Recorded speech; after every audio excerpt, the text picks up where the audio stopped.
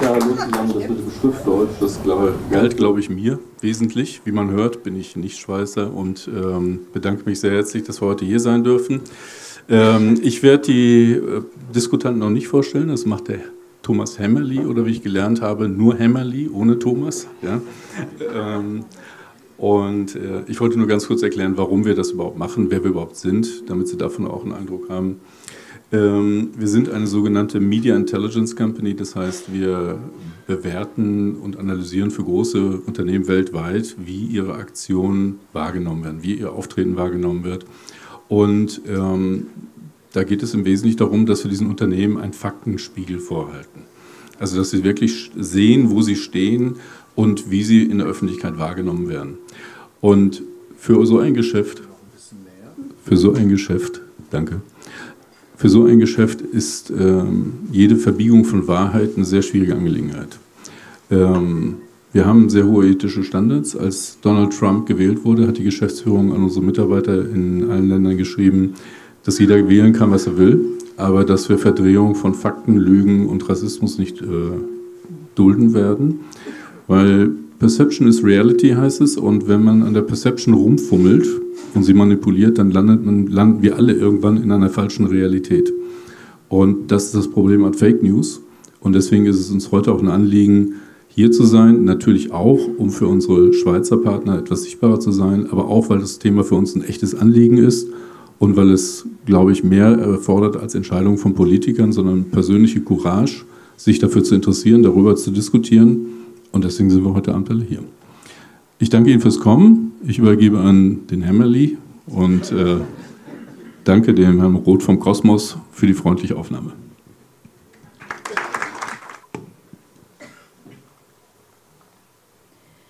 Ich möchte mit einem Beispiel beginnen. Es ist Sonntagabend, der 12. März 2017 und im Eiltempo verbreitet sich eine Meldung. Diese hier. Merkel hofft auf 12 Millionen Einwanderer. Und das heißt, es gebe ein geheimes Strategiepapier der Bundesregierung, welches die Massenmigration in Deutschland feiert. Und diese Meldung verbreitet sich im Eiltempo. Zigtausende Menschen klicken auf Like, zigtausende teilen das, viele kommentieren es wütend.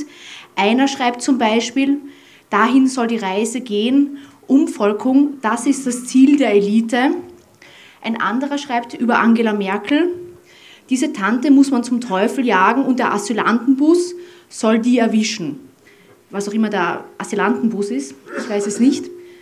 Und in dieser Wut und in dieser Aufregung fällt den vielen tausenden Usern eines eher nicht so auf, dass die Meldung so nicht stimmt. Dass die Meldung ziemlicher Humbug ist, die ist irreführend. Das beginnt schon beim Titel. Merkel hat nie gesagt, sie hofft auf 12 Millionen Einwanderer. Das wurde ihr einfach in den Mund gelegt. Und trotzdem, diese Meldung hat bis heute 68.000 Likes, Kommentare und Shares bekommen. Und im Jahr 2017 war das im gesamten deutschen Sprachraum eine der top erfolgreichsten Meldungen über Angela Merkel. Erfolgreicher als die allermeisten Geschichten des Spiegel, ähm, der NZZ, aller anderen Medien. Das ist eine der Top-Meldungen über Angela Merkel und das ist ziemlicher Unfug. Und warum ich Ihnen das erzähle, da gibt es noch einen Grund. Diese Meldung kam raus, als ich mein letztes Buch recherchiert habe und ich habe Menschen gesucht, die auf was Falsches hineingefallen sind. Und ich bin vielleicht ein bisschen naiv herangegangen, weil ich habe gedacht, ich, ich, finde dann solche Internetnutzer und, und zeige ihnen, dass das falsch war. Die sind ganz schockiert und sagen, jetzt werde ich immer genau hinschauen und werde immer nachrecherchieren. Und das Problem war, ich habe solche Internetnutzer nicht gefunden. Ich habe sehr wohl Menschen gefunden, die drauf reingefallen sind, aber die Reaktionen waren ein bisschen anders, als ich erwartet hatte. Ich habe zum Beispiel eine 55-jährige Bayerin gefunden, die das gesehen, geglaubt und wütend kommentiert hatte. Und die findet auch nicht in Ordnung, dass viel Falsches im Netz kursiert, aber auf diese konkrete Meldung angesprochen. Ich habe sie gefragt, wie sie darüber denkt. Ich habe sie konkret gefragt, ob sie das ärgert, dass sie das geglaubt hat. Obwohl es so nicht stimmt, hat sie Folgendes gesagt zu mir am Telefon, die Frau, die das für wahr gehalten hatte. Was heißt ärgern? Ärgern tut es mich insofern nicht, weil ich der Meinung bin, es kann passieren. Auch wenn es jetzt momentan nicht gestimmt hat, ist es doch eine Meldung, die passieren kann. Und Gott sei Dank lachen Sie, weil ich habe manchmal ein Publikum, eine, die das nicht ganz im ersten Moment verstehen, wie absurd das ist, weil äh, ich, ich habe das am Telefon gehört und ich war wirklich baff, weil ich nicht mehr gewusst habe, wie ich argumentieren soll. Ich, ich ordne es ein bisschen ein. Wenn Sie im Internet ab und zu mitlesen, passiert das immer wieder, dass etwas Falsches behauptet wird, dann wird es korrigiert, also gibt es eine Richtigstellung und irgendwer postet drunter, aber es hätte auch wahr sein können. Und das ist eine Variation von es hätte auch wahr sein können, die ist, es könnte noch wahr werden. Die finde ich fast noch schwieriger, weil was in der Zukunft passiert, kann niemand von uns belegen. Wir können nur belegen, zum Beispiel, hat ein Politiker das gesagt oder hat er nicht das gesagt. Und das war für mich ein Moment, wo ich gemerkt habe, dieser Erfolg von Fälschungen, von irreführenden Meldungen, von Halbwahrheiten, der liegt nicht einfach nur im Internet, ganz ehrlich, der liegt vor allem an uns Menschen. Menschen glauben das, was sie glauben wollen. Das nennt man auch Confirmation Bias, Bestätigungsfehler. Und diese Frau, die hat das natürlich für wahr gehalten, weil sie Angela Merkel und speziell Angela Merkels Flüchtlingspolitik ablehnt. Wenn Sie der größte Merkel-Fan sind, will ich Ihnen jetzt nicht unterstellen, aber wenn Sie es wären, hätten Sie das wahrscheinlich nicht geglaubt. Das heißt, die Falschmeldung funktioniert immer beim passenden Publikum. Das ist ein wichtiger Punkt. Und ich mache es schnell, ich mache heute nur einen schnellen Input, Input, weil wir werden ja dann gemeinsam das durchgehen. Aber ich sage ganz schnell, ganz schnell drei Dinge. Ähm, ganz kurz, wie groß ist das Problem? Ja, Verzeihung, ich halte das Mikro näher. Ich gebe drei Dinge ganz schnell durch. Wie groß ist das Problem? Erstens. Zweitens, warum sind Falschmeldungen auch im Netz so erfolgreich und dann, was kann man machen? Gehen wir gleich auf das erste ein. Wie groß ist das Problem?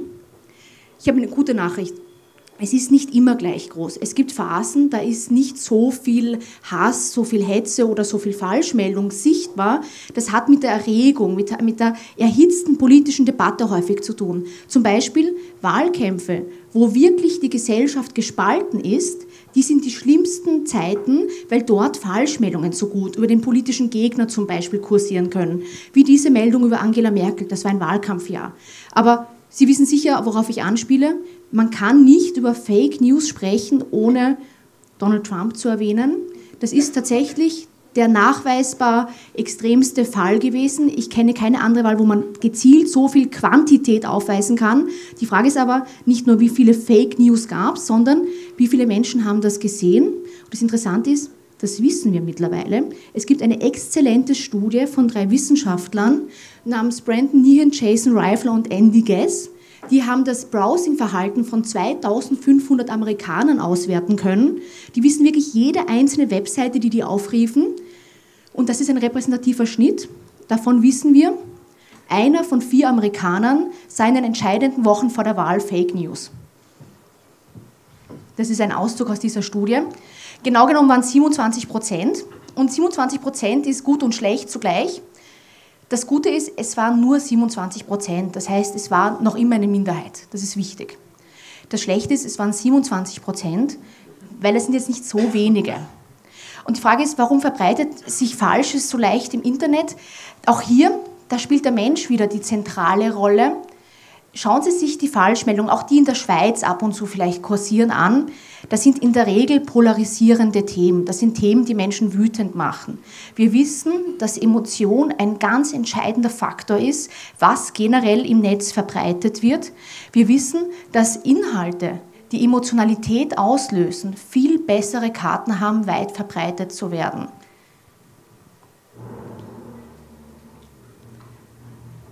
Und ich zeige Ihnen dazu etwas her. Das ist eine Untersuchung der New York Times, also keine Fake News, außer je nachdem, wie man sieht.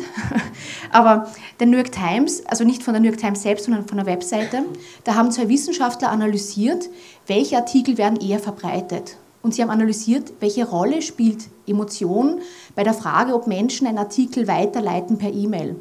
Und das ist das Ergebnis. Die gute Nachricht ist, positive Inhalte bekamen einen Boost von ungefähr 13 Prozent. Das heißt, es war schon nochmal zusätzlich gut, wenn ein Artikel Freude zum Beispiel auslöste. Oh, erfreutes Staunen, kann man leider nicht besser ins Deutsche übersetzen, hat auch sehr, sehr stark funktioniert. Sie sehen es hier. Und dann, wenn Sie genau hinschauen, sehen Sie hier Wut. Wut war sehr, sehr erfolgreich. wenn eine Meldung Wut auslöste, hatte sie um eine Drittel eine höhere Chance, viral zu werden, also von wirklich, wirklich vielen Menschen weitergeleitet zu werden. Und das ist insofern ein Problem, als dass manchmal ist Wut ja gerechtfertigt. Zum Beispiel, wenn ein politischer Missstand auftaucht. Oder es war gerechtfertigt, dass Frauen um das Frauenwahlrecht gekämpft haben und wütend waren, wie sie es nicht hatten. Also nicht jede Form von Wut ist illegitim, aber es gibt Wut, die baut auf Falschmeldungen auf. Und das ist das Problem. Viele Falschmeldungen, die machen Wut, die erzeugen Wut, aber basierend auf falschen Behauptungen. Und das ist eben ein gewisser Unterschied. Und im Netz kommt dann noch eines dazu. Wir wissen, dass Meldungen, die Wut auslösen, stärker geklickt werden, stärker geteilt werden, viele Kommentare erhalten. Viele Social-Media-Plattformen nutzen Algorithmen, die entscheiden, was sie sehen und was sie nicht sehen. Und ein Faktor ist womöglich auch, dass diese Algorithmen auf diese Signale einsteigen. Das heißt, eine Meldung auf Facebook, die viele Kommentare erzielt, die wird noch mehr Menschen eingeblendet.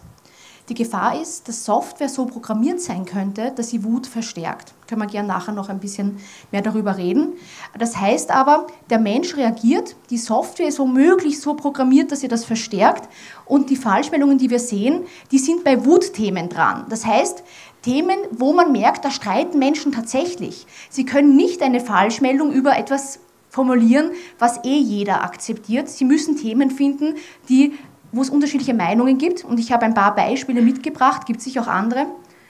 Flüchtlinge, Migration, ja, bis heute, das ist ein Streitthema. Impfen, enormes Streitthema, auch etwas, wo es sehr viele Falschmeldungen gibt, die gefährlich sein können. Weil wenn Menschen ihr Kind nicht impfen lassen, kann das wirklich zu schweren Krankheiten bis zu Todesfällen führen. Und drittens, ganz ehrlich, die Außenpolitik. Auch diese ganze geopolitische Ebene, die spielt sich mittlerweile im Web ab. Zum Beispiel bei militärischen Aktionen in Syrien, wenn da, etwas, wenn da wieder große Bombardements stattfinden. Sie werden auch in deutschsprachigen Zeitungen in den Leserspalten darunter einfach Unsinn finden. Da wird viel getrickst. Ich weiß, dass heute einige Menschen hier sind, die, glaube ich, auch im Unternehmensbereich oder in der Wirtschaft tätig sind. Das wirklich Groteske ist ja, sie müssen gar nicht in diesen Themen aktiv sein. Sie können aus einem ganz anderen Gebiet kommen und plötzlich werden sie und ihr Unternehmen zum Beispiel hineingezogen. Ich gebe nur ein Beispiel aus Österreich. Ähm, viele meiner Beispiele sind aus Österreich, weil wir eine besonders äh, unfreundliche öffentliche Debatte haben. Ähm, vielleicht haben Sie von diesem Herrn schon mal gehört. Das ist unser ehemaliger Vizekanzler mittlerweile und langjähriger Parteichef. Und als er Parteichef der Freiheitlichen Partei in Österreich war, hat er einen Post im Internet geteilt, wo es hieß, ich erzähle es jetzt nicht so genau, aber in, in, einem Supermarkt, der sei gestürmt worden von Flüchtlingen und die hätten sich so aufgeführt, hätten nichts bezahlen wollen, dass die Polizei, eine Spezialtruppe der Polizei kommen musste. Das hat unglaublich gut funktioniert. Wirklich Wut hat das wieder, hat die Menschen zum Antworten, zum Teilen und so weiter gebracht. Nur, was ist dann passiert? Die angesprochenen Unternehmen, wo das angeblich der Fall war, haben widersprochen und haben gesagt, uns ist kein derartiger Vorfall bekannt. Was ist in diesem Fall passiert? Nichts, außer dass der Politiker sein Posting gelöscht hat. Also er hat sich nicht mal entschuldigt, er hat es einfach entfernt. Das ist ein bisschen ein Problem, weil oft Menschen gar nicht mitbekommen, dass etwas falsch war. Aber es war trotzdem sehr, sehr gut, dass diese Unternehmen geantwortet haben. Und da komme ich jetzt schon zu den Lösungen, damit höre ich dann schon auf, weil wir wollen ja diskutieren. Das passiert immer wieder, dass einzelne Meldungen sich rasch verbreiten. Und ich muss sagen, rasch antworten wie hier, das ist ein wichtiger Zug. Vielleicht haben Sie von einer sehr berühmten Falschmeldung gehört. Ich zeige sie Ihnen. Das ist auch 2017 Deutschland, Wahlkampfjahr. Das war ein Schreiben, so, ich gehe da aus dem Bild, das war ein Schreiben, wonach, das schaut sehr offiziell aus, wo es heißt, die Polizei, Paragraph 2.3, ist angewiesen, die Straftat von einem Flüchtling, Asylbewerber oder von einer Person mit Migrationshintergrund quasi nicht den Medien mitzuteilen. Das ist auch noch schön hervorgehoben. Das ist natürlich Unsinn, das ist eine komplette Erfindung. Das wurde auf Facebook rasant verbreitet. Dann haben Menschen dem Innenministerium Nordrhein-Westfalen, wo das verbreitet worden ist, schnell Anfragen geschickt. Stimmt das, stimmt das nicht? Und noch am selben Tag, ich muss ganz ehrlich sagen, für Ministerien ist das fast schon Rekordgeschwindigkeit. Noch am selben Tag hat das Innenministerium Nordrhein-Westfalen geantwortet und hat gesagt, es handelt sich um ein frei erfundenes Schriftstück. Ganz ehrlich, eine Sache hätte noch eine Spur, es ist extrem gut, Best Practice Beispiel, eines hätte noch besser funktionieren können, groß Fake drüber schreiben, damit nicht das wieder rauskopiert werden kann. Das ist dann noch eine Spur, Spur stärker. Und heute sind wir auch auf Einladung von Uniceptor hier. Ich habe das Beispiel auch deswegen gebracht, weil die eine Analyse gemacht haben und ich stehle das jetzt beinhart, was die gemacht haben und zeige Ihnen das ganz einfach her. Die haben analysiert, wie sich diese Falschmeldung hier in dem Fall von Nordrhein-Westfalen verbreitet hat. Das war der Anfang und da merkt man, da steigt Und was wirklich selten ist, ist, dass offizielle Stellen so schnell, schnell reagieren. Hier haben sie reagiert. Das ist, der, das ist quasi die echte Meldung des Innenministeriums. Und Sie sehen, die echte Meldung hat auf einmal die Falschmeldung überdeckt. Und darum ist das ein Best-Practice-Beispiel. Das kann man eben analysieren und es ist schon recht interessant. Ich habe mir auch die anderen Beispiele angeschaut, die in dieser Analyse drin waren von Unicepta. Ich glaube, die meisten waren eher Worst-Case-Szenarios, wenig Best-Practice-Beispiele. Aber das ist schön, da sieht man rasch reagieren. Wenn es einfach so leicht erkennbar falsch ist, das kann sich auszahlen. Und damit komme ich schon zum Schluss. Ich habe noch einen letzten Tipp. Ach, wie sage ich das? Viele Fälschungen sind so, dass man sie liest und auf den ersten Blick wütend wird. Da muss man nicht lang drüber nachdenken. Da ist keine große Komplexität drin. Da ist ein klarer Feind, ein klarer ärgerlicher Fall beschrieben.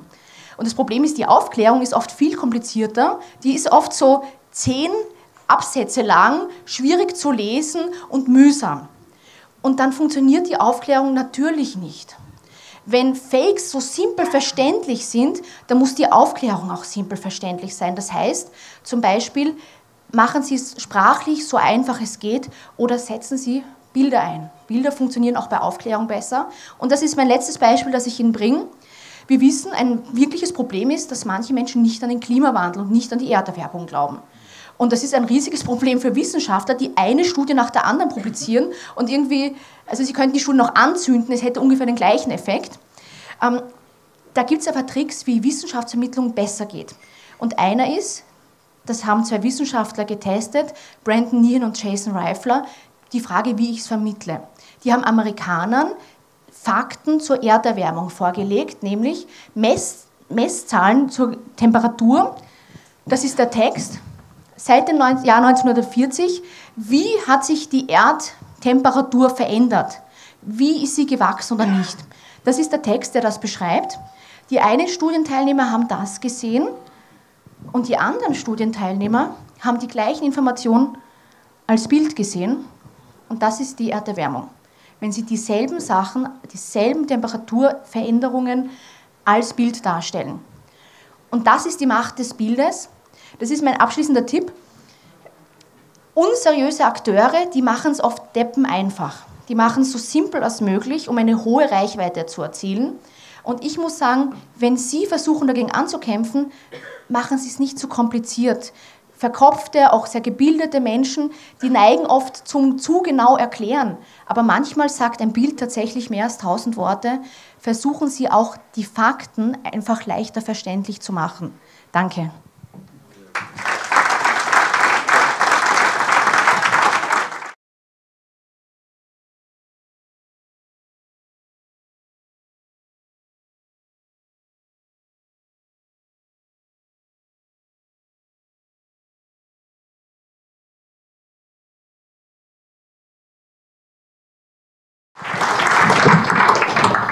So, und jetzt kommt ach, das Mikrofon. Äh, Valentin Gröbner, der ist Professor für äh, Geschichte des Mittelalters und der Renaissance, das ist richtig, ja, oder? An der, an, der Uni, an der Uni Luzern, schreibt in den großen äh, deutschen Blättern.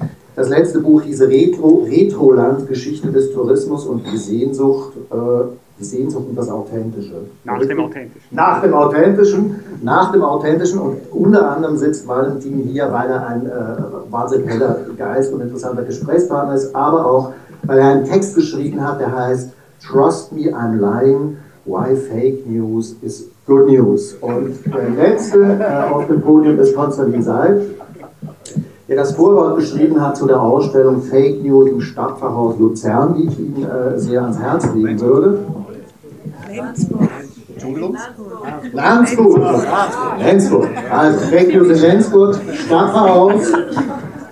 Und Konstantin Seib ist, äh, gilt als Edelfeder, war bei der WOTS, äh, war lange beim Tagesanzeiger preisgekrönt für die Berichterstattung über den Swisser-Prozess und hat jetzt äh, mit der Republik ein Online-Medium gegründet, das äh, sich unter anderem auf die Fahnen schreibt, äh, die Demokratie zu retten. Unter anderem nehme ich an, auch von Fake News.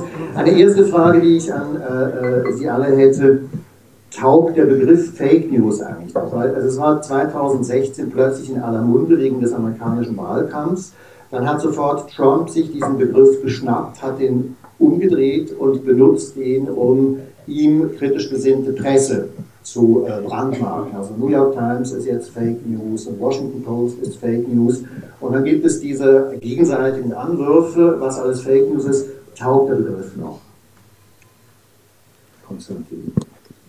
Äh, Mikrofon. Ich glaube, ja. Und halten, bitte. Also ich glaube, dass es äh, bei Fake News, egal welchen Begriff man nimmt, äh, es äh, zugehen wird, weiterhin in der politischen Sphäre wie auf dem Schulhof. Ähm, also es ist völlig egal, ob man Klotzkopf, Muttersöhnchen, du Opfer, äh, Fake Newser, Donald Trump, äh, Linker, sagt, die Antwort ist immer selber. Hm? Und deshalb glaube ich, dass egal, ob man jetzt Lüge nimmt oder erfundene Nachricht oder ähm, äh, fabrizierte Nachricht oder indus industriell ähm, hergestellter ähm, ähm Low-Quality ähm, Journalism, äh, die andere Seite wird immer das Gleiche sagen. Okay. Valentin, du hast dazu? Das Problem ist, also das Phänomen ist sehr alt und ähm, finde, dass Frau Botnick ähm, auf das entscheidende äh, Kriterium, Unterscheidungskriterium, das, was die Fake News äh, von 1938, da gibt es einen wunderbaren Roman darüber, ähm, von einem englischen Journalisten, äh, von denen von 2018 unterscheidet sich die Schnelligkeit. Äh, das Problem selbst ist, also das Phänomen und die Debatte darüber äh, ist zumindest so alt wie die aktuellen Tageszeitungen, wenn nicht noch ein bisschen älter. Sie sehen das auch so, Frau Brodnik? Ähm, also ich, ich sage auch vielleicht kurz was zum Begriff Fake News. Ich setze ihn tatsächlich spärlich ein, weil er so politisiert worden ist. Und das Problem ist, ich nehme es voll, wenn das Problem ist, ähm, wenn man Fake News sagt, sind bei unterschiedlichen Menschen sehr unterschiedliche Assoziationen im Kopf und manche denken nur noch an Donald Trump. Der hat tatsächlich es geschafft, den Begriff so ein bisschen sich anzueignen. Es ist durchaus beeindruckend. Ähm, ich mag auch an anderen Begriffen mehr, dass sie genauer sind, weil zum Beispiel im deutschsprachigen Raum ist das größte Problem nicht komplett erfundene Meldungen. Wenn die Amerikaner Fake News sagen, meinen sie meistens wirklich komplett erfundenes. Im deutschsprachigen Raum sind es ja oft eher Halbwahrheiten. Das heißt, die Geschichte hat irgendwo noch einen wahren Kern und damit ganz was anderes daraus gemacht. Ich selbst nehme auf das Wort Halbwahrheiten. Ähm, ja, äh, aber ich glaube, diese Präzision in der Sprache ist wichtig. Wenn man anderen vorwirft, nicht genau mit Fakten umzugehen, ist es durchaus sinnvoll, ein bisschen einzuordnen, was ist das jetzt? Ist das Irreführung? Ist das eine komplette Erfindung? Und das Schöne ist, eigentlich haben wir eh viele Begriffe dafür. Jetzt äh, haben wir hier eine Österreicher und ich würde gerne noch wissen, ähm, wenn jemand bei der Lüge ertappt wird, so offensichtlich wie Ihr ehemaliger äh, Vizekanzler, warum hat das null Auswirkung? Ist das in die Waldheim-Effekte, die fehlende Entnazifizierung Österreichs nach dem Krieg oder was ist das genau? Das ist natürlich, wir müssen jetzt ein Pro-Seminar österreichische Debattenkultur machen. Ähm, die ehrliche Antwort ist, ich weiß es auch nicht, weil ich es nicht nachvollziehen kann, was in Österreich alles, wie wir sagen, durchgeht. Ich bin wirklich fassungslos. Sie müssen sich vorstellen, Sie haben womöglich dieses Video gesehen, wo Dinge gesagt werden, die ein Politiker niemals sagen sollte. Ähm, auch sehr ungünstig, wenn die Kamera dabei läuft. Ähm, und Sie stellen sich vor, wir hatten eine Europawahl und dieser Politiker, der ist ja gar nicht an vorderster Stelle, aber der hat so viele Vorzugsstimmen bekommen, dass er jetzt ins Europaparlament kann. Weil viele Menschen auch noch gezielt ihn angekreuzt haben. Und es mit dem Hashtag im Internet jetzt erst recht. Und es ist tatsächlich Waldheim, dass Sie das ansprechen, ist sehr gut. Da bin ich zu jung, um diese Affäre noch, also ich war schon ein Baby, aber da habe ich nicht so wirklich das mitverfolgt. Also das war die Geschichte der, ähm, des Präsidenten, der eine NS-Vergangenheit hatte, die nicht ehrlich aufgearbeitet worden ist. Und der hat dann kandidiert und damals war der Slogan schon jetzt erst recht. Und ich war gestern bei einer Veranstaltung in Österreich und dann hat eine ältere Bürgerin gesagt, den Österreichern kann man alles verkaufen, wenn man sagt, jetzt erst recht, weil dann gehen sie überall mit. Und das ist, glaube ich, schon ein wichtiger Punkt in dem Fall bei dem Lager. Das ist auch eine Trotzhandlung jetzt. Das wird quasi natürlich anders umstilisiert. Ich glaube glaub irgendwie, ähm, es wundert einen eigentlich nicht so, dass Lügende, also das Interessante ist ja, dass niemand wirklich empört ist, niemand wirklich überrascht ist, wenn Politiker lügen. Ähm, das ist, ist eigentlich keine besondere Nachricht ja, in der politischen Sphäre. Also Hannah Arendt hat dazu einen sehr, sehr tollen Aufsatz geschrieben, äh, Lüge und Politik. Äh, und der Grund dafür ist, äh, dass in der Politik niemand erwartet, dass Wahrheiten verhandelt werden ähm, oder Wahrheit gesucht wird oder ähm, Wahrheit festgestellt wird, ähm, oder, sondern man will nicht die Wirklichkeit beschreiben in der Politik, sondern die Wirklichkeit verändern. Und nichts verändert die Wirklichkeit so schnell, so radikal, so effizient wie eine Lüge. Ähm, und es ist ja auch so, dass man versucht sozusagen dann diese Lüge vielleicht später politisch mit Wahrheit zu unterfüttern äh, oder aus dieser Lüge etwas zu machen. Und es ist auch völlig klar, dass vor allem in polarisierten Gesellschaften äh, es eigentlich so ist, dass diese Lüge des Politikers ja meistens eine Lüge ist, dass er etwas erreichen will. Also er will den Gegner schaden. Äh, er, ähm, und er beweist dadurch seine Ehrlich die Ehrlichkeit seiner Absichten seiner Klientel gegenüber. Also er ähm, nimmt nicht mal auf die Wirklichkeit oder die Fakten Rücksicht, äh, er nimmt auch nicht auf die Presse Rücksicht, er nimmt auch nicht auf das Schlechte, äh, sondern er versucht sein Programm durchzusetzen, auch gegen die Realität. Äh, und ähm, er versucht nicht Recht zu haben, sondern Recht zu behalten. Und seine Anhänger sind dadurch meistens äh, zu Recht elektrisiert, äh, je äh, härter die Auseinandersetzung ist. Hast du noch was zu Österreich zu bemerken als Ösi? Ähm, ich glaube, dass das richtig ist, aber es wäre doch interessant, ein bisschen zu überlegen, ob es Zonen von Uneigentlichkeit gibt. Also dass Politik, weil wenn ich Konstantin Seib folge, ist eine bestimmte Art von ähm, auf die Öffentlichkeit zielendes politisches Reden eine Art von Zone von Uneigentlichkeit, wo es um die, zu, die maximale Zuspitzung von Aussagen geht. Genauso wie es bei militärischen Konflikten verwandeln sich alle, die Medienberichterstattung in aller beteiligten Länder in solche Zonen der Uneigentlichkeit. Was genau meinst du mit Zone der Uneigentlichkeit? Na, ich kann, ich, was ich mit Zone der Uneigentlichkeit meine, kann, glaube ich, kann ich am schönsten erklären an, der schönsten, an, der, an dieser schönen Kleinanzeige, die der ähm, Verband der Schweizer Presse, der Schweizer Verleger 2017 ähm, in den Zeitungen geschaltet hat. Da stand Fake News mit uns nicht. Äh, dank der ähm, weiß es jetzt nicht mehr aus dem Kopf, dank der gewissenhaften Arbeit von schweizerischen Journalistinnen und Journalisten und Redaktionen gibt es bei uns nur geprüfte Nachrichten. Das war eine bezahlte Anzeige und im Dagi stand die äh, direkt neben einer anderen Anzeige auf der Anzeigenseite, da stand ähm, Lilly 25 verwöhnt den Schweizer Gentleman. Äh, das heißt, das meine ich mit, nämlich es stand als bezahlte Anzeige zwischen Werbung. Werbung ist auch eine Zone der Uneigentlichkeit, äh, die seit etwa 150 Jahren alle großen Tageszeitungen finanziert. Weil wir wissen, was Werbung ist. Wir neigen, wir schätzen es, wenn wir sie als solche erkennen. Wir nehmen sie aber ganz selbstverständlich als Teil des Formats Nachrichten wahr. Weil wir sind Werbung. das gewohnt. Werbung, mhm. selbstverständlich. Mhm. Äh, und wenn man heute auf der Suche nach Wahrheit die Website äh, des Spiegel oder der Süddeutschen Zeitung, ähm, ich nenne jetzt aufsichtlich keine Schweizer Beispiele, anklickt, dann sagt einem, dann erscheint zuerst die Website und dann erscheint, offenbar haben Sie einen Werbeblocker installiert. Bitte schalten Sie ihn doch aus, damit das Licht angehen kann. Ähm, das heißt, die Werbung ist als Zone der Uneigentlichkeit das, was in den kommerziellen Nachrichtenmedien die Nachricht in gewisser Weise umrahmt.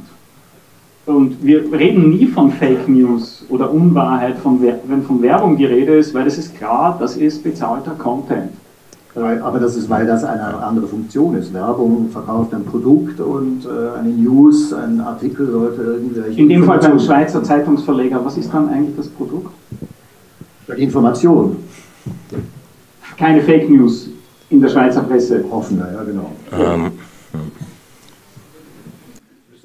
ja, also das, das Problem ist natürlich, dass äh, wie keine Fake News, äh, also wenn man selber sozusagen an diesem Puls sitzt, äh, ist man froh, wenn man vielleicht auf 80 Prozent der Wahrheit kommt. Äh, also das ist ein sehr, sehr hoher, vermessener Anspruch.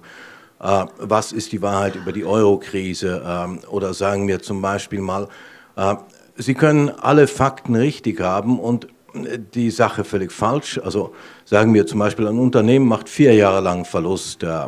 Sie sagen, der CEO ähm, ist der Verlustbringer.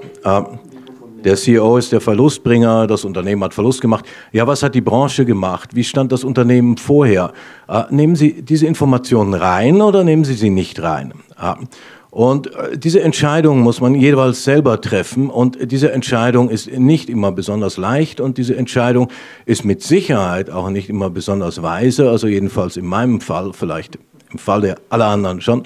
Aber ähm, es wird jeweils so gesagt, dass wir ähm, die Presse ist nicht unfehlbar. Äh, die Presse hat gewisse Regeln und sie hat diese Regeln aus der Zeit, als die Anzeigen wirklich kamen. Ähm, äh, über 100 Jahre war Presse ein Monopolbetrieb äh, in der Schweiz. Die Tageszeitungen, die großen, ähm, die sind alle, fast alle weit über 100 Jahre alt, weil die Druckmaschinen so teuer waren, dass die neuen Leute nicht hineinkamen und der Aufbau einer Marke auch nicht. Das heißt, sie waren eigentlich dann Gelddruckmaschinen. Alle, die etwas zu verkaufen hatten, äh, mussten da durch. Alle, die sich zu verkaufen hatten, mussten bei der Redaktion durch. Äh, man hatte sozusagen garantierte Kanzel für die Journalisten. Es gibt sozusagen lauter Regeln, aber in der Presse sozusagen über die Lauterkeit, über wie macht man dieses, wie macht man jenes, wie beurteilt man das. Ähm, aber die kommen alle aus dieser Zeit von 100 Jahren ähm, äh, praktisch Monopol ähm, und zwar äh, gleichzeitig über die Anzeigen, gleichzeitig über äh, die Leute, die prominent werden wollen und gleichzeitig über den Frühstückstisch, bei dem man sich einfach schlecht gefühlt hat ohne Kaffee und ohne Zigarette. Man hat auch eine Gewohnheit verkauft. und das heißt, was da ist, äh, was man als Journalist macht, ist ein relativ gut äh, situiertes äh, Ritual, das nicht die Wirklichkeit abbildet, mit Sicherheit 80 nicht. 80 Prozent Wirklichkeit, sagst du, maximal. Ja? 80 Prozent Wahrheit, Sie wollten was darauf entgegnen, Frau Rodnik? Also entgegnen nicht, aber ergänzen. Ja, okay, gut. Ähm, ich finde, das ist ganz wichtig, dieses, dieser Wahrheitsbegriff ist ja eigentlich das Furchtbarste. Ich, Wahrheit ist, ähm, ist ein schwammiger Begriff. Wir können natürlich eine Definition nehmen, nur das Entscheidende ist einfach, ähm, ein hilfreicher Begriff sind Fakten. Und das Problem ist an der Debatte, wie sie jetzt geführt wird, ist natürlich schon eine Gefahr, wenn wir kurz auf den Journalismus eingehen. Es ist schon eine Gefahr, dass man vielleicht auch überbordend reagiert, in Frankreich zum Beispiel gibt es ein Fake News Gesetz, das ist Ende vergangenes Jahr beschlossen worden, wo ein Richter im Wahlkampf sehr schnell entscheiden muss. Er hat 48 Stunden, wenn ich mich recht erinnere, ob etwas gelöscht werden muss, ob etwas quasi runterzunehmen ist. Und er kann sehr weitgehende Entscheidungen treffen. Und natürlich, bei manchen Fällen sehen Sie auf den ersten Blick, das ist ein Unsinn, aber manche Sachen sind komplizierter. Und das ist schon interessant, mit so einem Tempo vorzugehen. Und vor allem, es können sonst droh, es, sonst es, äh, Haft, es gibt sonst eine Form von Haftbarkeit, von Strafen. Und ich sage dann immer, ich bin sehr zurückhaltend, wenn wir anfangen, falsch, die Verbreitung von Falschen zu bestrafen, weil ganz ehrlich, dann kann jedes Medium zusperren, selbst die Besten. Ähm, weil jeder Journalist, egal wie redlich er versucht zu recherchieren, wird irgendwann draufkommen, dass er Unsinn geschrieben hat oder dass er ähm, ohne böse Absicht auf etwas Falsches hineingefallen ist oder etwas ausgeklammert hatte, was er nicht hätte ausklammern sollen. Und das ist natürlich ein Unterschied zu, zu, zu reinen Fake News, weil was ist der Unterschied zwischen Falschmeldungen im klassischen Sinn und Fake News? Die Falschmeldung kann tatsächlich unabsichtlich passieren. Die Fake News ist eine gezielte Täuschung. Und es ist aber nicht leicht, immer diese Grenze zu ziehen, weil ich in die Menschen nicht hineinblicken kann. Natürlich, wenn ein Portal immer und immer wieder damit auffällt, dann soll ich eher vorsichtig werden. Ich würde auch gern da noch ein bisschen bleiben, nicht bei der Frage, ob Journalismus Wahrheit produziert. Das scheint mir eine äh, ähm, äh, Debatte, die äh, nicht wahnsinnig weit führt, sondern die Frage ist wirklich, was ähm, äh, bei den Fake News, so wie Sie die definieren, die boshaft sind, wo völlig klar ist, was die Absicht ist, was dort ist. Jetzt etwas, was mich noch interessieren würde, Sie haben kurz äh, so neurologische Mechanismen angesprochen, die dazu führen, dass äh, die Leute eher geneigt sind, Fake News, also komplett falschen Geschichten zu glauben. Können Sie das noch ein bisschen erläutern? Nee, was, was, was passiert im Gehirn? Also momentan ist ja so eine, ein bisschen eine Leitwissenschaft, eine Modewissenschaft, das Neurologische und trotzdem ist irgendwie so, äh, wir haben so und so viele ähm, Mechanismen, die wir inzwischen kennen, ja. die dazu führen, dass man eben Fake News glaubt. Also es scheint, ein starker Eindruck ist, und es gibt auch einzelne Untersuchungen, die in diese Richtung hindeuten, dass für die Verbreitung von Desinformation die Wiederholung ungeheuer wichtig ist. Ich habe einmal eine Österreicherin interviewt, eine Frau, die wirklich sehr viel Angst vor Migration hat und die sehr viel auf Facebook auf einschlägigen Seiten dazu mitliest. Und sie sagt, sie liest dort so viel, dass das verunsichert sie mittlerweile. Und ich habe gefragt, was verunsichert sie denn? Und sie hat mir erzählt, naja, all die Geschichten über Schweden. Ich habe gefragt, was meinen Sie zu Schweden? Und sie meinte, naja, heute erst habe ich gelesen, dass sich blonde Frauen in Schweden die Haare schwarz färben, aus Angst, sonst von Migranten vergewaltigt zu werden. Und ich weiß, da lachen immer Menschen, aber dann hat die Frau gesagt, ich weiß, das klingt absurd. Und als ich solche Meldungen das erste Mal las, habe ich mir auch gedacht, das klingt absurd. Aber wenn man das dauernd liest, da muss doch was dran sein. Und dafür gibt es einen Fachbegriff, der heißt Illusory Truth Effect, der Wahrheitseffekt. Das ist schon seit den 1970er Jahren dokumentiert, also da, da ging es überhaupt nicht um Fake News in dieser Untersuchung. Aber eine Behauptung, die Menschen häufiger hören, die klingt plausibler. Und das lässt sich auch ein bisschen, wenn wir zur Neurologie kommen, gibt es Ansätze der Erklärung, nämlich das Hebbian Learning. Das heißt, ähm, Begriffe, die öfters gemeinsam erwähnt werden, die ähm, bringt unser Gehirn eher in einen Zusammenhang. Also Synapsen werden gebildet durch die Wiederholung, dass gleiche Eindrücke im selben Moment auf, auftreten. Und so lernt man ja auch, wenn Sie die Jahreszahl lernen wollen, was weiß ich, die äh, Mauer ist 19, äh, 1989 gefallen und dann Mauer 1989, Mauer 1989 über diese Wiederholung. Und natürlich kann ich nicht nur reale Information, ich kann auch Desinformation über die Wiederholung stärker machen. Jetzt gab es äh, auch 2016 einen Artikel im Magazin von äh, Hannes Grasecker äh, über Cambridge Analytica, der mehr oder weniger äh, gesagt hat, wenn man unsere Profile durchsucht, dann kann man ganz äh, äh, gezielt eigentlich uns manipulieren. Und der Artikel hat in der ersten Fassung mindestens, mussten wir das ein bisschen abtempieren, mehr oder weniger gesagt, man hat mit Cambridge Analytica Brexit und die Wahl Donald Trumps durchgebracht. Wie sieht das inzwischen aus? Ich würde mal sagen, man kann natürlich sagen, ja, Cambridge Analytica hat das geschafft, äh, vielleicht die Russen, die Desinformation auch, vielleicht auch irgendwie äh, die New York Times, äh, die immer he said, she said machte und Donald Trumps äh, Lügen, Skandale, äh, Leute nicht bezahlt, äh, falsche Abrechnungen, äh, immer konterkariert hat mit Hillary e Hillarys E-Mail-Skandal, der unglaublich weit beschrieben wurde, dauernd im Wahlkampf, äh, von den, gerade von den seriösen Medien, damit sie ausgewogen sind. Und wo auch irgendwie sozusagen sämtliche Zitate, egal ob Lüge oder Wahrheit, äh, jeweils äh, gebracht wurden. Äh, so dass Krugman mal gesagt hat, äh, im Qualitätsjournalismus sei es so, wenn die Republikaner behaupten, die Erde ist eine Scheibe und die Demokraten sagen, sie ist eine Kugel, äh, titelt die New York Times Gestalt der Erde umstritten.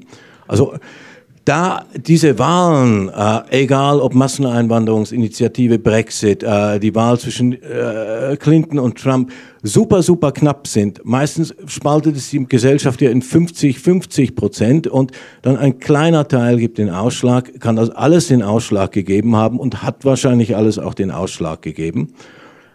Die Sache, die gespenstisch ist, wenn man schreibt und gerade wenn man sozusagen versucht, äh, sind so über die Grenzen zu schreiben, ist, wie stark ähm, die politische Meinung, wie stark das Lager äh, die, äh, äh, die Wahrnehmung prägt. Also die Hauptleserbriefe, die man kriegt, ist ganz meine Meinung, guter Artikel, nicht meine Meinung, warum hat Ihr Chefredaktor Sie noch nicht gefeuert? Äh, und zwar überwiegend, sowohl von links wie von rechts. Und wenn man sieht, irgendwie sozusagen, ist es nicht nur so, dass dann die Meinung da ist, sondern man kauft halt ein ganzes Paket. Äh, also Klima zum Beispiel ist links-rechts verteilt. Äh, wenn du dann ähm, oder ähm, Steuern äh, erhöhen, Steuern senken, ähm, Bibel in, in den USA. Du, und wenn du ein Republikaner bist und du findest irgendwie vielleicht die Evolution noch eine gute Idee oder eine plausible Idee, dann sagst du das besser nicht, weil du hast ein ganzes Paket. Und wenn du Linker bist, hast du oft auch ein ganzes Paket. Und deshalb glaube ich, sind wir sozusagen erstaunlich größer in Stämme eingeteilt, als wir es wahrhaben wollten. Ähm, und als es irgendwie sozusagen vornehm ist und als es eigentlich unserem äh, Selbstbild als, ja, wir sind rationale Individuen und wir entscheiden selber. Ja, äh, da kann man öfter sagen, oh fuck, äh, wenn man es genauer sich ansieht. Äh, du bist nicht so clever. Hm. Kann ich ergänzen, gibt es eine sehr interessante Untersuchung vom Wissenschaftler Dan Kahan aus Yale. Ähm, der hat ein sehr interessantes Experiment gemacht. Der legte Amerikanern Lebensläufe von Wissenschaftlern vor und die mussten dann einstufen, sind das Experten. Und diese Wissenschaftler waren erfunden, die gibt es in Wirklichkeit nicht der hat gezielt jeden dieser Lebensläufe so gemacht, dass das Top-Experten waren. Also ich glaube National Science ähm, Academy, also oder wie es heißt, also auf jeden Fall wirklich die höchsten Boards, die höchsten ähm, Elite-Einrichtungen, tolle Lebensläufe, aber die Studienteilnehmer sahen immer auch, wozu die Person forscht und wie die Paper heißen, die er angeblich geschrieben hat. Und da ging es dann um politisch umkämpfte Gebiete wie Klimawandel, wo viele Republikaner das abstreiten, aber es ging auch zum Thema wie Nuklear, ähm, also Atomenergie und Atommüll, was natürlich ein rotes Tuch für viele Linke ist. Und allein wie die Überschriften dieser Studien waren, haben wahnsinnig einen, einen Eindruck gemacht, viele republikanische Wähler, wenn die gesehen haben, der forscht zum Klimawandel und kommt anscheinend auf das Ergebnis, den Klimawandel gibt es, haben sie dann gesagt, nein, nein, ich glaube nicht, dass das ein Experte ist. Und das konnte er wirklich messen, sowohl im linken als auch im rechten Spektrum, dass wenn die, die, die, die Art, wie ich politischen Themen gegenüberstehe, dann entscheidet, ob ich jemanden noch als Experte akzeptiere. Also es ist die totale Absage an diese Idee der Aufklärung, dass wir als rationale Individuen da miteinander etwas diskutieren und Sachen rausfinden. Jetzt, wie sieht das, wie sieht das historisch aus? Wie lange, wie lange gab es dieses, äh, diese Gesellschaft, in der man wirklich diskutiert hat aufgrund von Fakten und nicht nur in diesem Lager war? Oder gab es die überhaupt? Was sagt der Großhistoriker dazu? Ähm, ich bin ein ganz kleiner Historiker, aber ich glaube, ich würde gern die Frage ein bisschen anders mh, mm, auffassen, sagen wir so. Äh, und ein bisschen mehr über Emotionalisierung reden, weil ähm, die Medien sind ja nicht die Welt. Äh, was die Leute einander beim Frühstück, äh, sofern sie nicht Zeitung lesen und deswegen nicht miteinander Nicht reden, mehr. Äh, ja. ähm, oder was die Leute nicht posten, sondern was im normalen Alltag stattfindet, findet ja normalerweise in den Medien eigentlich nicht statt. Sondern die Medien, das ist ein eigener Kanal oder sind eigene Kanäle mit eigenen Gesetzen, mit einer eigenen Ökonomie. Und ich fand sehr spannend, dass Sie gesagt haben, dass Emotionalisierung, vor allem Wut, den Diskurs, ähm, die, die Weiterverbreitung von ähm, offensichtlichen Falschnachrichten extrem anheizt. Das heißt, je stärker etwas Wut erzeugt, desto schneller wird es ja offenbar weiter verbreitet. Das ist ja auch ein Prinzip, nach dem Zeitungen, glaube ich, mindestens seit Herrn Pulitzer gemacht werden, seit den Massenzeitungen der 1860er Jahre, die dann sehr, sehr billig wurden. Da also ist die Boulevardpresse, ja. Ja, und, und ähm, ich würde gerne noch mal ein bisschen einen Schritt zurücktreten und sagen, was ist der Mechanismus, dass der Diskurs über Fake News so sehr von Angst geprägt ist? Das heißt, wovor haben wir eigentlich Angst? wenn wir über falsche Nachrichten reden. Äh, denn diese Nachrichten über Fake News sind ja selbst sozusagen eine selbstverstärkende Aufmerksamkeitsmaschine, die ähm, nicht zuletzt auf Cambridge Analytica, auf die sozialen Medien, vor allem auf Facebook abhebt. Das heißt, wer fürchtet sich da genau wovor? Und könnte es sein, dass wir unser, uns fürchten vor den Falschnachrichten auch ein kleines bisschen genießen? Äh, dass es eine, ein lustvolles Fürchten ist. Was ich sehr erstaunlich finde, ist doch eins, das Reden über diese Art von, ähm, sagen wir so, Amerika ist seit ungefähr 80 Jahren die Zukunft für Europa. Alles, was dort passiert, wird irgendwann auch bei uns passieren. Das ist die Erfahrung unserer Großeltern, das ist die Erfahrung unserer Eltern, das ist die Erfahrung von uns. Und gleichzeitig beginnt das sich allmählich ein bisschen komisch anzufühlen. Denn jeder, der schon mal in Amerika war, vor allem wenn er dort gearbeitet hat, weiß, dass der mediale Diskurs über Amerika und der Alltag in den Vereinigten Staaten zwei sehr unterschiedliche Dinge sind. Und kein Mensch, den ich kenne, der halbwegs bei Trost ist, wünscht sich bei Gefängnissen, Krankenhäusern und Sozialversicherungen amerikanische Zustände. Amerikaner sterben im Durchschnitt die Lebenserwartung ist zehn Jahre tiefer als im EU-Durchschnitt. Und reichlich, noch ein bisschen, bei der Schweiz ist es noch ein bisschen mehr. Nur im Reich des Internets, im Königreich, im Traumreich der Medien, gibt es eine reale US-amerikanische Dominanz. Weil die Hardware kommt aus China ähm, und übrigens auch die Kreditgeber für die Staatsanleihen. Das heißt, könnte es sein, dass das, was wir gerade verhandeln, auch eigentlich ein Stück weit unsere Nostalgie ist, dass plötzlich die Welt wirklich anders auszusehen beginnt, weil, Entschuldigung, in dem anderen Imperium, äh, nämlich in der Volksrepublik China, gibt es da Fake News in dem Sinn?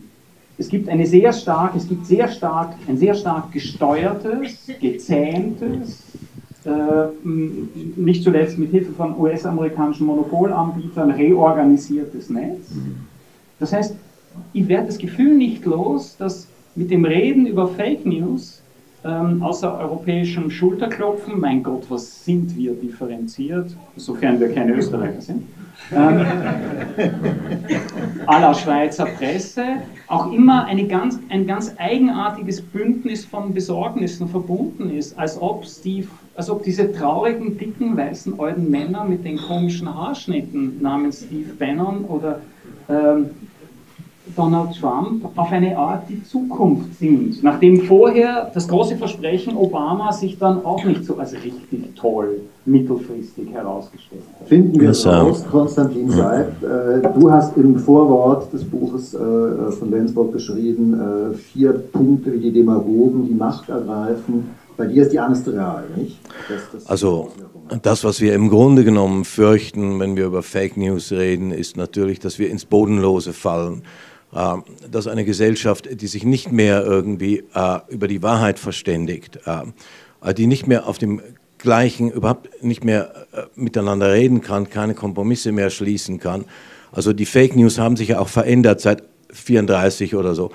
34 ging es noch darum, welches System ist das Beste, die Demokratie, Nationalsozialismus, äh, ähm, äh Sowjetunion. Es wurden unglaublich viele Studien gemacht. Also die Fake News-Produzenten waren sehr intellektuell ähm, und ähm, haben also schwergewichtige Dinge geschrieben, ähm, also neben der Propa sonstigen Propaganda und mussten auch also mit Statistiken oder so etwas beweisen, äh, dass man eigentlich auf der historisch richtigen Seite ist. Dann, wenn man jetzt so noch sieht, sozusagen noch bei George Bush, äh, äh, äh, ist es so gewesen, ich habe mir einmal im ähm, WEF zufälligerweise die Rede von äh, seinem Außenminister Powell angehört. Äh, das waren eineinhalb Stunden, wo er einen Dia-Vortrag mit unglaublich viel möglichen Beweisen, es waren also Indizien irgendwie für die Massenvernichtungswaffen gemacht hat. Und die Genialität von Trump ist ja die, dass er das alles weggelassen hat. Äh, dass er völlig unverschämt und seine Schamlosigkeit ist etwas wirklich Neues, äh, dass er absolut irgendwie sozusagen einfach Dinge behauptet, die sogar auf Fotos widerlegbar sind, aber sie einfach weiterhin behauptet. Und neben diesen Tatsachen, die er behauptet, egal ob es Statistiken oder Lebensläufe oder äh, Jahreszahlen oder es ist völlig egal. Langsam kommen auch sogar die Gesetzestexte. Also die Republikaner sagen, okay, ähm, es gibt diesen Gesetz, dass man diese Akten herausgeben soll, aber es interessiert uns jetzt gerade nicht. Und du kannst die ganze Wirklichkeit missachten und du kannst miteinander überhaupt nicht mehr reden. Und ich glaube, das Problem äh, der ganzen Sache begann damit, äh, dass also die Griechen haben eine super Unterscheidung gehabt zwischen das Gegensatz von Wahrheit war nicht die Lüge, sondern die Meinung. Äh, Wahrheit sind Tatsachen und Meinungen sind veränderlich. Es ist sozusagen das, was in der politischen Sphäre stattfindet. Und man sieht irgendwie eine wahnsinnige Aufwertung der Meinung, auch in den klassischen Medien, weil Meinung ist billig zu haben. Meinungen wachsen dir äh, wie Haare, äh, äh, und zwar auch an unpassenden Stellen. Äh, ähm, ähm, du hast eine Meinung über China, ohne eine Ahnung über China zu haben. Äh, du hast eine Meinung über ähm, die Schwulen-Ehe, ohne irgendwie sozusagen nur etwas darüber nachgedacht zu haben. Oder auch viel darüber nachgedacht, egal. Aber du hast über tausende Dinge eine Meinung. Meinung ist billige Ware, die kann schnell hergestellt werden. Ist komischerweise meistens sozusagen aus Versatzstücken, die man irgendwo aufgeschnappt hat, ähm, äh, besteht sie, ähm, fühlt sich aber ganz persönlich an. Ähm, und der erste Schritt, und das ist sozusagen, glaube ich, der Schritt gewesen, der das vorbereitet hat, ist Tatsachen durch Meinungen zu ersetzen.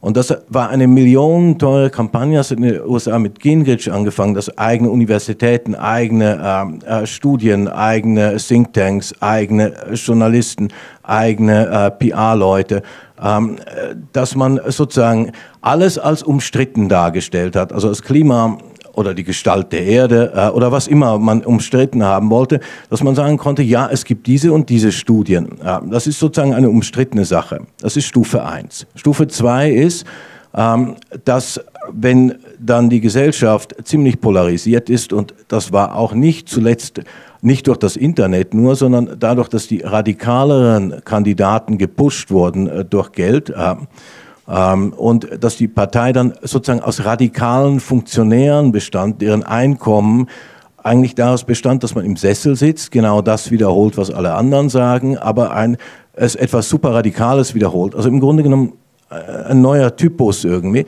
der da gebaut wurde ähm, und das dann sozusagen es eine Frage des Lagers ist. Äh, und ähm, äh, bist du bei uns oder bist du bei Ihnen äh, bei der Evolution? Ja. Wenn ich schnell, schnell reinfahren darf, äh, Konstantin, die Frage war, äh, die, deine Furcht ist wo, woher? Äh, woher kommt die Furcht? Das Erste, was du gesagt hast, war, es gibt äh, das Faktische nicht mehr, das ersetzt durch Meinung. das Zweite ist die Partei, die sich radikalisiert. Und das Dritte wäre dann mit Trump mal gesagt hat, irgendwie bezieht eure Wahrheit bei eurem Präsidenten. Also die Wahrheit ist eigentlich eine persönliche Eigenschaft des Parteiführers. Vierte Stufe wäre dann, die Wahrheit wird verfolgt. Also da hat ja Trump jetzt im Moment die Untersuchungen gegen das FBI eingeleitet. Also sind die ersten Stufen schon da. Das Problem ist, dass die politische Sphäre, die Demokratie, ähm, äh, die Sicherheit, dass es irgendwie vernünftig verhandelt wird, nicht mehr da ist, wenn man nicht mehr vom Gleichen spricht. Und wenn Tatsachen, ähm, also die, wenn nicht einmal mehr geheuchelt wird. Äh, Heuchelei ist eine so unterschätzte Tugend. Äh, Heuchelei ist, ist die Verbeugung des Lasters vor der Tugend. Da, da, wissen die Leute irgendwie sozusagen, was sich gehört eigentlich. Ja. Und da erschießt man sich vielleicht noch nach einem Skandal. Da ist man auch irgendwie sozusagen behaftbar, wenn man bei einer Lüge erwischt wird. Und nicht umsonst reden alle rechten Politiker oder die Fake News gegen Heuchelei. Äh, sie wissen, was für ein Gegner das ist. Äh, und äh, Heuchelei ist unter anderem der Beispiel einer, also ist in einer gesunden Gesellschaft drin, wo man noch über das Gemeinsame redet. Also Abschied vom Gemeindekonzept.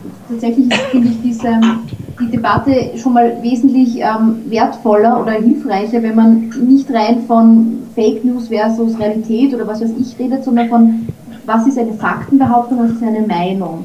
Weil das Problem ist, im, Sie kennen es vielleicht im Netz, gibt es immer wieder wirkliche Debatten über, hat ein Politiker das gesagt oder wie viele Straftaten hat XYZ begangen und dann postet häufig eine Person das ist ja alles Ansichtssache. Und zum Beispiel, wenn es um die Zahl und die Kriminalitätsstatistik geht, ist das keine Ansichtssache. Also entweder Sie haben die Statistik nicht, dann ist es ein Problem. Wenn es die Statistik, wenn es Zahlen gibt, dann ist das ein Fakt und keine Meinung. Und diese Trennung müssen wir festhalten, weil das, das ist, sonst haben wir quasi keinen sachlichen, keine Möglichkeit der sachlichen Debatte. Und tatsächlich ist das ein Kunstgriff dieser Zerstörung der demokratischen Debatte, dass ich diese Grenze nicht mehr ziehe. Sie kennen womöglich alle diese gefühlte Sicherheit. Das ist zum Beispiel ein sehr guter Trick, dass ich als das Politiker sehr lange gerade ähm, Falten in der Sicherheitspolitik erklären, wie gefährlich der Terror ist, gefährlich wie das, das, das. Und dann ist es eigentlich eine Meinung, was sie da sagen und eine Behauptung. Und dann kommt, XY Prozent der Bevölkerung haben Angst. Und dann ist es Fakt. Weil dann ist es ja Fakt, dass ein Teil der Bevölkerung eine Meinung hat. Und das ist ein rechter Kunstgriff, aber um vielleicht auf den Punkt zurückzukommen, wo man Angst haben kann, ich finde diese, diese Frage, ist die Debatte so Nostalgie? Also erinnern wir uns an eine Zeit, die es nie gab, finde ich sehr berechtigt, weil es gibt auch diesen Begriff, dass wir im Zeitalter des postfaktischen leben würden. Und ich mag diesen Begriff überhaupt nicht, weil dafür, dass wir im postfaktischen Zeitalter befinden uns, müssten wir mal im faktischen Zeitalter gewesen sein. Und ich wüsste nicht, wann das war.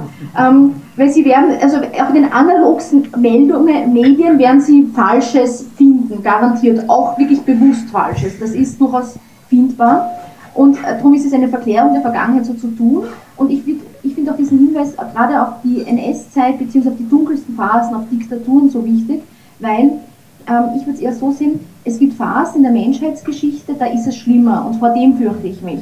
Es gibt Phasen, wo ein Teil der Bevölkerung so aufgehust ist, dass er einfach alles glaubt oder nicht genau hinschauen will. Und das ist die Gefahr, nämlich nicht, dass es keine Fakten mehr gibt, sondern dass ein Teil der Bürger nicht mehr bereit ist, sich das anzuschauen. Und da kann man ein wichtiges historisches Beispiel bringen.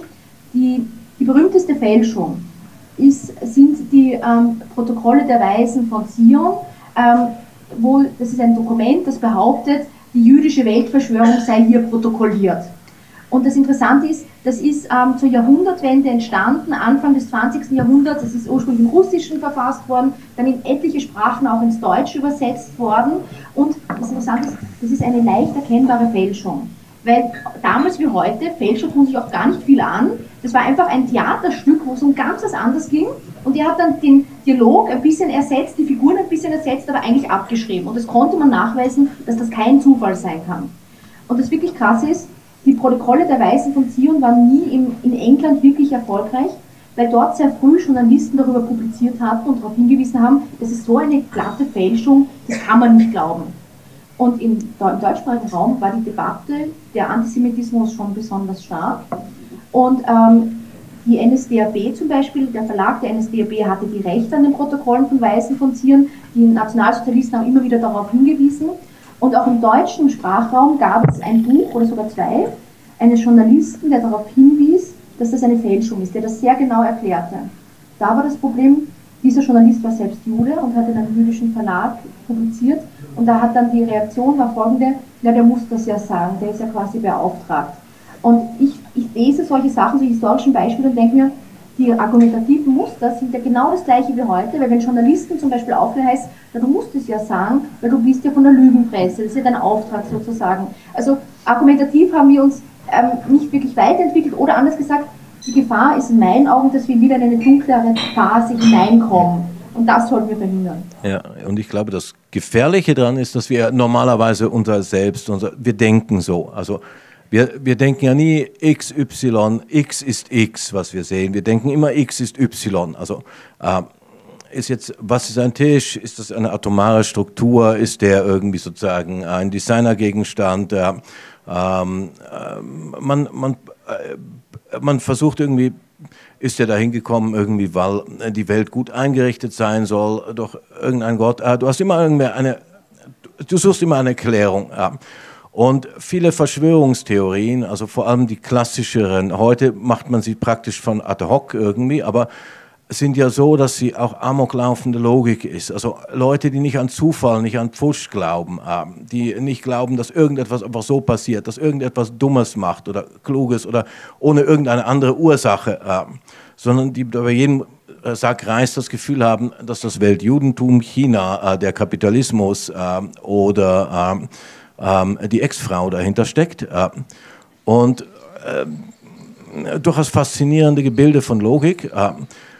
Äh, offensichtlich braucht es auch diese faszinier also diese, diese logischen Sachen nicht, sondern es ist eigentlich nur so, dass man im richtigen Lager sein muss, äh, um die Sachen zu erzählen. Äh, und aber es ist sozusagen, es sind Sachen, in denen wir auch denken. Ähm, wir hören Geschichten irgendwie über irgendetwas, äh, egal ob es äh, fiktionale sind, ob man viel Sachen im Kopf hat, ob man Experte ist oder nicht. Irgendwie, man glaubt dieses und jenes, weil man schnell urteilen muss.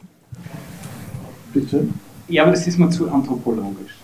Äh, also das ist ähm, das ist doch eigentlich meine Rolle, auf die Jahrhunderte Menschheitsgeschichte hier äh, hinzuweisen. Ah, es gilt, für, es gilt für Historiker das Gleiche wie für Journalisten. Das Pflicht, also Oskar Wilde hat mal gesagt, die Pflicht, die einzige Pflicht, die die äh, Geschichte, also die einzige Pflicht, die wir der Geschichte gegenüber haben, ist sie umzuschreiben. Und das ist unser beider Job. Ähm, aber unter den Bedingungen der sozialen Medien, ähm, in Ihrem Buch zeigen Sie ja sehr schön, wie wenig für mit, wie, mit, viel, mit wie, wie viel wenig Geld man einer komplett absurden Geschichte in den sozialen Medien ähm, ein, eine respektable Likes, Followers ähm, und so weiter verschaffen kann. Das heißt, ich glaube, es gibt schon den, einen Unterschied ähm, von der, der neuen ähm, Funktionen von Medienkonsumenten, es selber weiter zu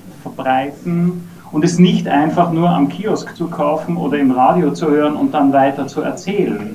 Äh, da gibt es, glaube ich, und eine ganze ähm, Aufmerksamkeitsindustrie, die äh, ja nichts anderes tut, ähm, um den entsprechenden Konzernen ordentliche ähm, Werbeeinnahmen zu ermöglichen um das Vergnügen an der Interaktion mit dem Gerät und mit der eigenen Meinung ähm, immer weiter zu steigern. Weil die Schnelligkeit, das Ausmaß der Leute, die sehr, sehr viel Zeit mit ihrem Smartphone verbringen und mit den sozialen Medien, ist, äh, hat so vor 15 Jahren einfach schlicht nicht gegeben. Das heißt, ich würde schon mal gern nochmal über diesen Medienkanal reden, gerade weil er nicht historisch ist. Du hast, Konstantin, du hast vorhin gesagt, äh, das äh, Pressemodell, das ist, wie eine alte, äh, ist eigentlich eine alte Geschichte, wie das früher funktioniert hat. Wenn ich mir anschaue, was Alt-Right macht mit all diesen Memes oder wenn ich mir anschaue, was die ganzen Verschwörer machen mit, mit lustigen Bildern und mir anschaue, was du machst mit der Republik, die endlose Texte hat, dann habe ich den, sorry, wenn ich das so direkt sage, habe ich den Eindruck, dass eigentlich viele von, wenn ich das so, so generell sagen darf, von uns, die wir eigentlich äh, versuchen dafür zu kämpfen, dass wir noch mit Fakten äh, eine rationale Debatte haben, haben zu alte Kommunikationsformen. Na, um, uh, you're wrong. Also du hörst teilweise right und teilweise wrong. Also mit Steve Bannon, uh, mit uh, der Neuen Zürcher Zeitung, ähm, mit irgendwie sozusagen ähm, ähm, dem Lessing-Magazin ist auch die Republik in der Aufmerksamkeitsindustrie, äh, ganz abgesehen von Netflix und so weiter, also von den internationalen Playern. Ähm, die Sache ist die, dass natürlich Fake News verbreiten sich gut, Wut verbreitet sich gut, aber zum Beispiel, ähm, was sich auch verbreitet, sind wirklich lange, wirklich gut geschriebene Artikel, ähm, die, also wenn man die Klickzahlen nimmt, äh, sind die, äh, ist das Publikum nicht doof. Äh, das Publikum ist auch nicht so, also bei Zeitungen zum Beispiel werden die kleinen Dinge, Skandale, Aufreger, äh, Mann beißt Hund, äh, irgendjemand ist nackt äh, ähm, und lässt sich scheiden. Äh, ähm, das ist das eine Peak und das andere sind die langen, wirklich gut geschriebenen Hintergrundartikel. Äh, ähm, und das mittlere Zeug, das Gemüse wird ausgelassen. Also die Leser ernähren sich wie ein Junggeselle vom äh, Fleisch und irgendwie, also vom Steak und irgendwie vom, vom, vom Dessert. Okay. Und das ist relativ klug. Ähm, und ich glaube auch bei den Fake News ist es so, dass sie ein Bedürfnis abbilden. Die Leute wollen diese Fake News haben und dann nehmen sie sie. Ähm, vielleicht werden sie auch süchtig gemacht an die Fake News, aber es wird auf eine gewisse Qualität, die entwickeln Mendeln sich ja auch aus äh, nach Klickzahlen. Ähm, das heißt, es sind gut gemachte Fake News, auch wenn sie uns primitiv erscheinen. Ich möchte langsam schon Richtung Schluss gehen, nämlich was man machen kann. Äh, wenn Sie was dazu sagen könnten, was glauben Sie, was man machen kann unter den Bedingungen all dieser neuen Kanäle und Medien? Darf ich kurz da anschließen mit der, mit der Geschwindigkeit und mit dem Medium an sich, was anders ist? Tatsächlich, ich glaube, das ist, da ist das Internet gar nicht so neu. Jede neue Technologie hat so ihre eigenen Facetten. Das Radio hat auch äh, militärische Propaganda ermöglicht, die vorher nicht da war.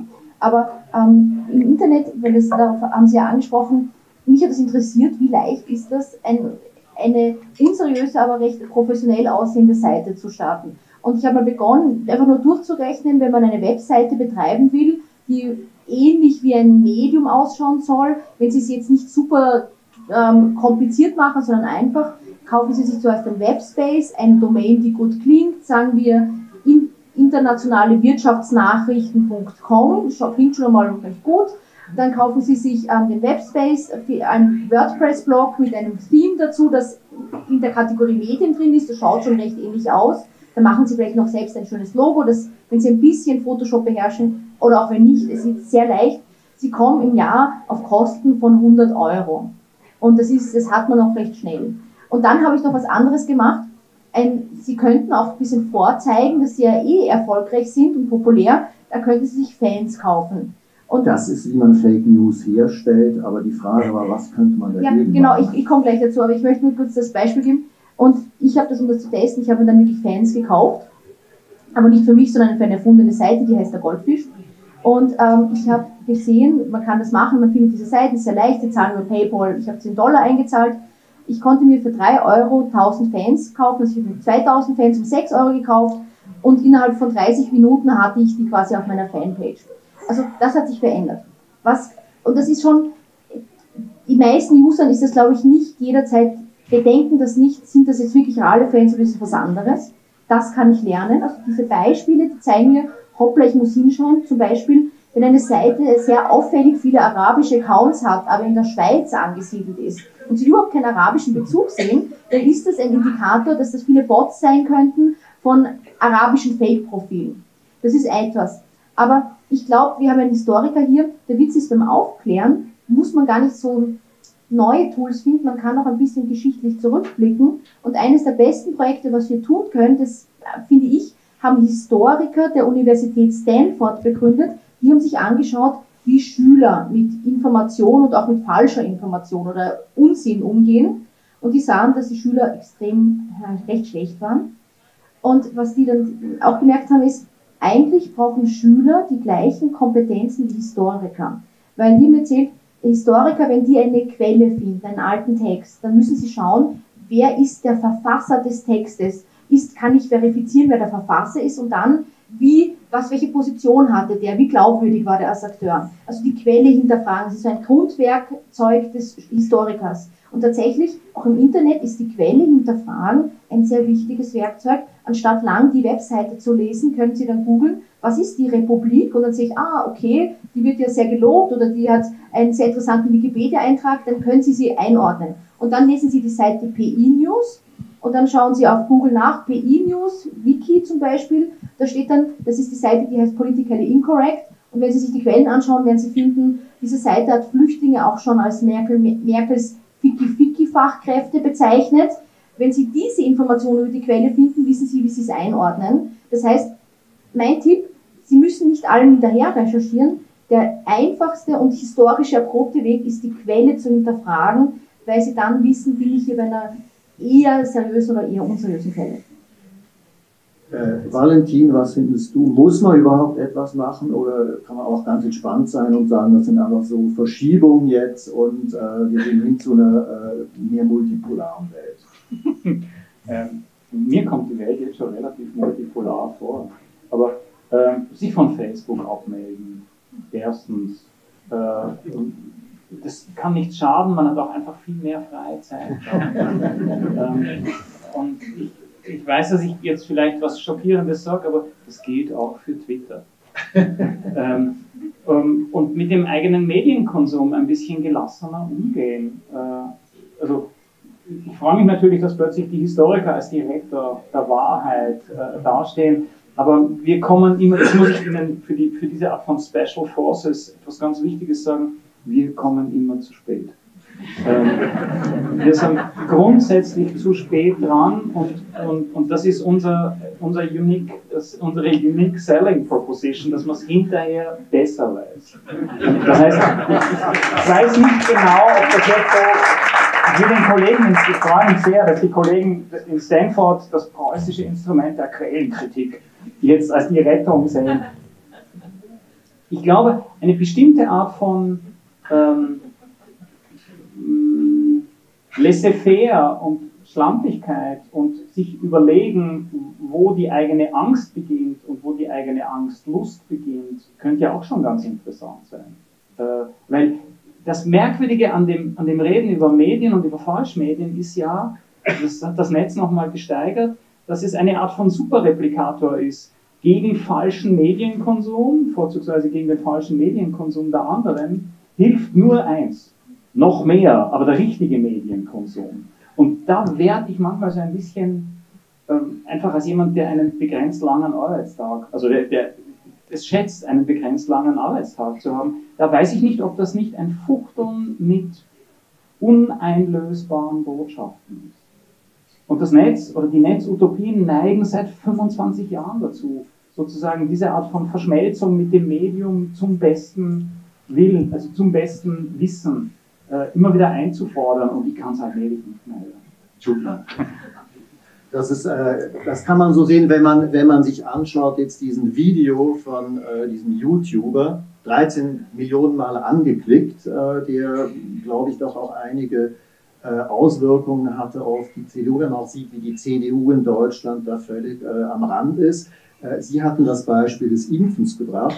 Es gibt in, ich habe mir die Statistiken angeschaut, in Südafrika ein Fünftel der Bevölkerung, der Erwachsenen hat AIDS, geht unter anderem zurück auf eine Fake News Kampagne des KGB da damals noch, äh, die gesagt haben, die Amis haben in einem Labor AIDS gemacht und der, äh, Präsident von Südafrika hat ja lange vertreten, dass äh, AIDS mit HIV nichts zu tun hat und dass man am besten rote Beete ist und so weiter und so fort. Das sind dann doch Sachen, die eigentlich in der Welt sehr real sind. Und da würde mich wundern, äh, Konstantin, wir haben jetzt diese Diskussion momentan in der Schweiz beim Impfen. Brauchen wir Impfzwang? Oder ist das komplett verkehrt? Tagesanzeiger hat gesagt, nein, man soll den Leuten mit guten Argumenten das erklären. Wenn ich auf irgendwelchen ähm, äh, Verschwörungstheorie-Seiten bin, ich sehe nicht, wie man da mit Fakten arbeiten könnte und bin auch nicht so entspannt wie Valentin Gröbner, der die ganz großen Zeiten übersieht. Also dazu kann ich nur zwei Dinge sagen. Das eine, was mir einfällt, wäre der Slogan nicht schimpfen, impfen. Ähm, aber das andere ist, äh, dass ich zu der ganzen Thematik derart keine Ahnung habe, dass ich eigentlich auch nur schwafeln kann, äh, egal wie lange ich rede. Deshalb höre ich jetzt auf. Okay, das ist doch ein schönes Schlusswort. Oder hätten Sie noch einen letzten hm. Tipp, was man ja. gesetzlich machen oh. könnte? Gibt es noch irgendetwas? Ich weiß, was Sie sind ja die äh, ähm, äh, digitalen Champions von Österreich. Ein Tipp an uns Schweizer. Ja, ähm, das Interessante ist ja, dass ich finde, wir wegkommen müssen von Regulierung, die darauf die, die, die großen Schattenseiten haben kann, was Bürgerrechte betrifft. Ich glaube, bei digitaler Regulierung derzeit gibt es auch so den Nebeneffekt, dass das Bürger betreffen kann. Urheberrecht in, in, der, in der Europäischen Union ähm, hat die hohe Chance, dass es zu Upload-Bildern führt, wo jeder User betroffen ist, wenn er copyright-geschützte Bilder hochlädt. Man wird sehen, wie es genau ist, aber im Zweifelsfall sollte Regulierung darauf ausgerichtet sein, nicht den Bürger, sondern die, ich sage es jetzt mal Mächtigen, also die, die dominanten Plattformen unserer Zeit, die Marktbeherrschenden. Und da kann man gerade im Bereich der Information viel machen, nämlich eher Transparenzpflichten für diese Plattform. Ich habe dieses Beispiel gebracht mit der Emotion. Die Wut bringt Menschen zum Klicken. Angry people click more, kann man auch sagen. Und dann besteht die Gefahr, dass die Software so gebaut ist, dass sie diese Signale als ähm, Indikator wertet. Das ist wichtig. 2000 Likes, das muss noch mehr Menschen eingeblendet werden. Der springende Punkt ist, wir wissen es nicht so genau. Weil das Problem ist, wir kennen nur schemenhaft die Erklärungen von Facebook und auch YouTube, nach welchen Kriterien sie entscheiden, was sie einblenden und was nicht. Und bevor wir da inhaltlich regulieren, würde ich mal so hingehen und sagen, regulieren wir doch ähm, was die Transparenz betrifft, zum Beispiel, dass unabhängige Wissenschaftler Tests machen können. Sie müssen gar nicht den Code sehen, aber Tests, welche Effekte der Algorithmus hat. Wenn ich Zugriff auf die Software habe, kann ich mit Daten auch schauen, wenn ich so und so viele Posts habe, nach welchen Kriterien werden die eher eingeblendet. Und da, glaube ich, wäre der Zugang bei dieser Auswahl der Selektion der Information da Transparenz reinzubringen, damit ich als Bürger auch weiß, welche Effekte sind dort. Das, was ich jetzt erwähnt habe mit den Emotionen, das ist nur eine Theorie. Das kann man nicht belegen, weil bisher Facebook und auch YouTube solche Tests von unabhängigen Wissenschaftlern nicht erlaubt. Und das könnten Staaten, glaube ich, sehr wohl regulieren. Und ich glaube... Ähm, ähm, ehrlich gesagt, ich muss ganz ehrlich sagen, wir sind ja als Österreich und als Schweizer haben wir den Glück, das Glück und das Pech, dass wir so ein kleines Land sind Leicht ist natürlich auf europäischer Ebene, nur ich bin mittlerweile der Meinung, natürlich kann jedes Land diese Riesen greifen, weil die nicht auf die Märkte verzichten wollen. Das schaue ich mir an, das heißt immer, ja, dann ziehen sich die zurück. Mhm, das schaue ich mir an, dass sie auf die, all die Werbeeinnahmen, zum Beispiel im deutschsprachigen Raum, verzichten. Glaube was, ich persönlich nicht. Was ich glaube, ähm, ähm, noch, also man kann ja auch direkt etwas tun, zum Beispiel in der Presse. Ähm, lange Zeit hatte man das Gefühl, einfach um diesen Beton zu sprengen, äh, die Hauptaufgabe der Presse ist, schlechter Laune zu sein, äh, Probleme zu finden, äh, Empörungen zu verbreiten und Zweifel. Äh, und im Zweifel irgendwie noch etwas mehr Zweifel hinzuhauen. Ähm, diese Empörung, äh, diese Wut, die man da versucht auszulösen, die greift jetzt irgendwie sozusagen auf alles Mögliche über. Deshalb wirken diese Fake News auch natürlich, sodass man in der Presse vielleicht etwas freundlicher, äh, verbindlicher, äh, äh genauer äh, sein könnte und die, den Holzhammer äh, nur dann einsetzt, wenn man keinen Zweifel hat. Das wäre das eine. Und das andere, wenn man in der politischen Sphäre kämpft, äh, ähm, wo es sozusagen um Fake News geht, also wo es auch irgendwie um Recht behalten geht und nicht einfach um Recht haben, dann finde ich, haben wir in der Schweiz eigentlich eine ziemlich gute Innovation. Das ist die Operation Libero. Also die baut die Memes, die baut die Slogans irgendwie gegen die SVP, äh, die setzt Leute ein, die sofort irgendwie sozusagen Sachen korrigieren, die sofort eingreifen in allen möglichen Diskussionen und das Gegenteil schreiben. Sie haben bis jetzt eine 6-0-Bilanz gegen die SVP, also gegen die größte Partei. Man sieht die SVP jetzt jammern irgendwie wie die Linke früher, also dass das irgendwie unfair sei, äh, wie sie behandelt wird, dass ihr das Wort im Mund verdreht wird, dass dort junge Frauen sind und sie haben eben keine und ähm, ähm, und äh, dass, also, äh, dass die ganz gemein sind. Äh, und ähm, das von der SVP zu hören, macht doch einigermaßen Freude und das zeigt, dass sich durchaus etwas machen lässt, wenn man sozusagen auf der richtigen Ebene antwortet ähm, und ein Produkt designt, das wirklich gut ist und nicht einfach rumjammert, äh, dass es so gemein ist, dass irgendwelche politischen Parteien äh, zweifelhafte ähm, äh, Fakten verbreiten. Okay, vielen Dank. Vielen Dank Ihnen für die Geduld. Was ich mitnehme, ist äh, ein Facebook-Spruch, es ist kompliziert. Äh, was Hoffnung gibt, ist, dass lange Texte äh, geklickt werden. Sie sollten mehr Quellenkritik üben. Wir hoffen, dass äh, große Staaten oder die EU Facebook dazu zwingen, dass sie Wissenschaftlern äh, ihren Algorithmus offenlegen Sie können auch ein bisschen entspannter sein, wenn Sie es wie der Historiker über große Zeitläufe sehen und vielleicht Ihr Facebook-Profil sogar löschen und man lebt auch ganz gut ohne Twitter und hat sehr viel mehr Zeit und ansonsten sind wir froh, gibt es die Operation Libero als ein Gegenspieler. Herzlichen Dank für die Aufmerksamkeit und wir stehen noch zur Verfügung.